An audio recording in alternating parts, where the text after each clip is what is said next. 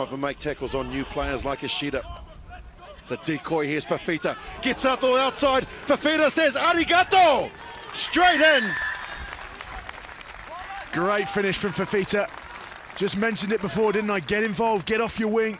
He's such a physical threat. Look at the size of him. He could fit in that front row. No